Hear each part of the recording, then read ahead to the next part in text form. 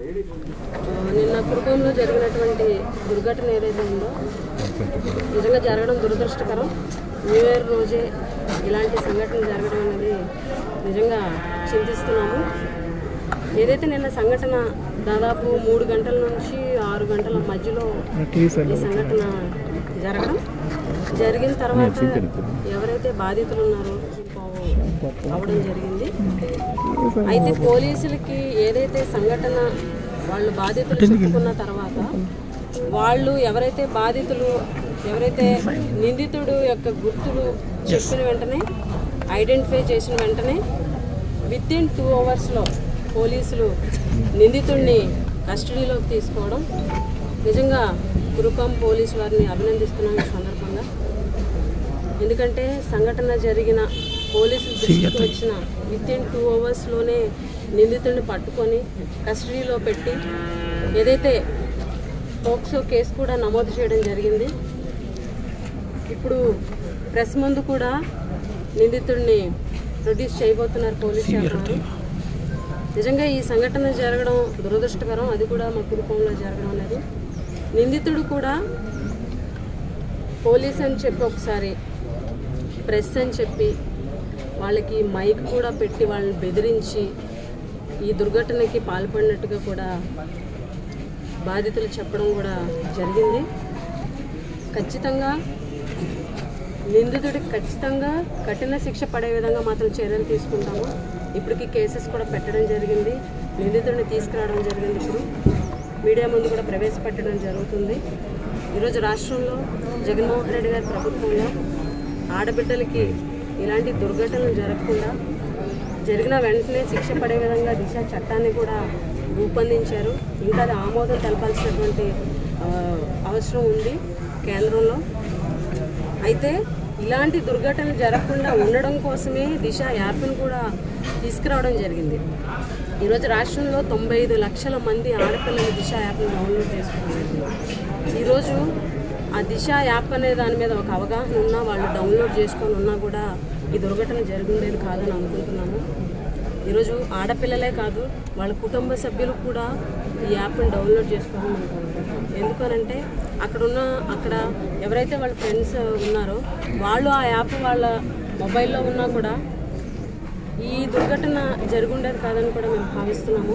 ఈరోజు రాష్ట్రంలోని మహిళల భద్రత కోసం మహిళల రక్షణ కోసం ముఖ్యమంత్రి జగన్మోహన్ రెడ్డి గారు ఎంతో పాటుపడుతున్న విషయం మీ అందరికీ తెలిసిందే. ఈరోజు రాష్ట్రంలో దాదాపు వెయ్యి అరవై మూడు ఏదైతే కేసులు ఉన్నాయో లైంగిక వేధింపు కేసులు కానీ డెబ్బై ఐదు రేప్ కేసులు కానీ వారం లోపే ఛార్జ్ షీట్ వేసినటువంటి ఘనత జగన్మోహన్ రెడ్డి గారి ప్రభుత్వం. ఆదేశాల మేరకు పోలీస్ శాఖ వారు కూడా చాలా చక్కగా ఇలాంటి విషయాల్లోని త్వరితగతిన నిందితులను పట్టుకునే విధంగా వాళ్ళు చర్యలు తీసుకోవడం పోలీస్ శాఖ వారిని కూడా ఈ సందర్భంగా అభినందన తెలియజేస్తూ ఇలాంటి తప్పులు పునరావృతం కాకుండా కూడా చర్యలు చేపడతామని కూడా ఈ సందర్భంగా తెలియజేస్తూ నిందితులు ఎవరైనా సరే శిక్ష మాత్రం కఠినంగా ఉంటుందని కూడా ఈ సందర్భంగా తెలియజేస్తున్నాం మేము ఆ పిల్లలకి చెప్పడం జరిగింది. ప్రభుత్వం నుంచి అన్ని రకాల కూడా మేము సహాయ సహకారాలు అందిస్తామని కూడా చెప్పడం జరిగింది.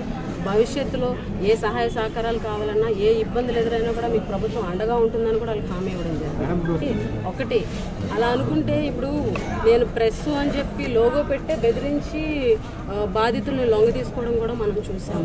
ఇప్పుడు తప్పు చేశారంటే నిందితుడు అనేవాడు తప్పు చేయడానికి ఏ రకమైనటువంటి ఆయుధాలను ఉపయోగించుకోవచ్చు. అందులో భాగమై ఉండొచ్చు ఇది.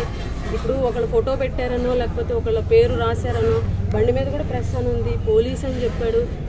అంటే ఒక తప్పు చేయడానికి ఏం ఉపయోగించాలో అవన్నీ కూడా ఉపయోగించి బెదిరించి ఆడపిల్లలను లొంగ తీసుకుని ఈరోజు ఈ దుర్ఘటనకు పాల్పడాడు నిందితుడు. అందుకనే ఎవరైనా సరే ఖచ్చితంగా శిక్ష మాత్రం తప్పదు. అది కూడా కఠిన శిక్ష ఉంటుందని కూడా ఈ సందర్భంగా తెలియజేస్తాను నేర చరిత్ర ఉంది. దాదాపు పద్నాలుగు కేసులు ఉన్నాయి.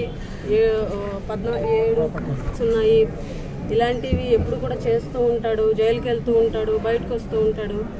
ఈరోజు ధైర్యంగా ఆడపిల్లలు రౌడీ షీట్ ఉంది. ఈరోజు ఆడపిల్లలు ధైర్యంగా అతని ఫీచర్స్ అవి కూడా చెప్పడం గుర్తుపట్టడం ఈరోజు ఖచ్చితంగా అతని మీద కఠిన చర్యలు అయితే ఉంటాయి కఠిన శిక్ష అయితే ఉంటుంది. ఇది మాత్రం తెలియజేయగలము. భవిష్యత్తులో మన ఏరియాలో ఇలాంటి వాతావరణము కానీ ఇలాంటి పరిస్థితులు కానీ రిపీట్ కాకుండా ఉండేలాగా ఎలాంటి చర్యలు తీసుకోవాలి అలాంటి చర్యలు అన్నీ కూడా తీసుకుంటాము. పోలీస్ శాఖ వారు కూడా చాలా చక్కగా వెంటనే టూ అవర్స్లో పట్టుకున్నారు. వాళ్ళని కూడా మనం అభినందించాల్సినటువంటి అవసరం ఉంది.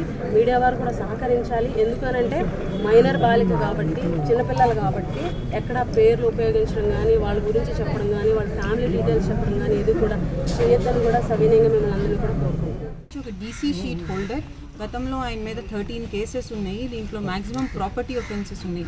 బైక్ థెఫ్ట్ అని క్యాటిల్ థెఫ్ట్ ఇలాంటి థెఫ్ట్ కేసెస్ ముందు కూడా ఉన్నాయి. ఇన్ఫర్మేషన్ రావంగానే ఓవర్ నైట్ మనం అరెస్ట్ చేస్తాం జరిగింది. ఇంకా మొత్తం కేసుని కూడా బాగా గట్టిగా దర్యాప్తు చేసి చాలా ఇంపార్టెంట్ సైంటిఫిక్ ఎవిడెన్స్ అంతా కూడా పెట్టి కనెక్ట్ చేసి మనం అతనికి శిక్ష పడేలాగా ఛార్జ్ షీట్ చేస్తాం. దిశ యాక్ట్ అనేది రాలేదు. కానీ దిశ యాక్ట్కి స్ఫూర్తిగా తీసుకొని మనం త్వరలో కేసు ఛార్జ్ షీట్ చేస్తాం. ఇప్పుడు నమోదు చేసిన కేసు పాక్సో యాక్ట్ చట్టం కింద నమోదు చేసాం. ప్లస్ ఐపీసీ సెక్షన్స్ కూడా పెట్టడం జరిగింది. ఇప్పుడున్న case three seventy six five zero six IPC ఇంకా section four of POCSO act కింద నమోదు చేశాం. థర్టీన్ కేసెస్ అయితే మనకి ఆన్ రికార్డ్ ఉన్నాయి. దాంట్లో మ్యాక్సిమం ప్రాపర్టీ ఒఫెన్సెస్ కేసు ఉంది. ఇంకా బెదిరించిన కేసు అంటే మనకి అట్లా ఆ సెక్షన్ కింద లేదు. బట్ ఒక త్రీ ఫిఫ్టీ ఫోర్ కేసు కూడా ఈయన మీద ముందు ఉంది. So he already a DC sheet holder